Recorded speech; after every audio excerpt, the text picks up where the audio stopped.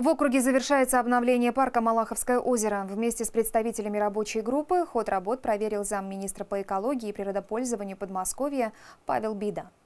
Мы отдаленный участок от города, и та красота, которую для нас сделал губернатор и наш глава, мы очень счастливы и на самом деле мы довольны. И светло, и безопасность. Для созерцания местных красот, отдыха и прогулок новые удобные лавочки, дорожки и освещение. Для детского досуга современные игровые площадки. Помимо работ в самом парке завершается преображение входной группы и благоустройство территории возле новой дамбы. Ту работу, которую мы сделали по восстановлению гидротехнических сооружений совместно с администрацией, соответственно, городского округа Люберцы, я оцениваю на твердую пятерку. Один из главных пунктов реконструкции парка – очистка Малаховского озера в процессе благоустройства. Некоторые проектные решения изменились, их пришлось дополнительно согласовывать. Поэтому от 140 тысяч кубометров ила водоем избавят только в следующем году.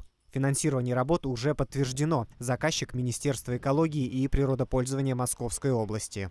Я думаю, что перед жителями я должен извиниться и попросить потерпеть еще один год – когда мы уже сможем в первозданном виде радоваться красотой Малаховского озера.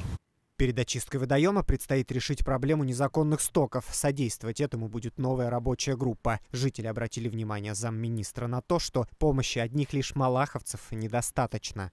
Жители обратились с просьбой к Министерству экологии провести коммуникативную работу с нашими соседями, Раменским городским округом, для выстраивания а, взаимоотношений, а, дабы, когда озеро будет очищено, а, чтобы перед этим провести упреждающую работу по выявлению лиц, которые загрязняют наше озеро.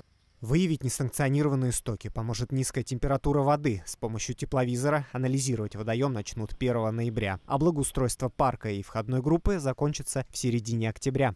Александр Колганов, Сергей Гвоздев, телеканал ЛРТ.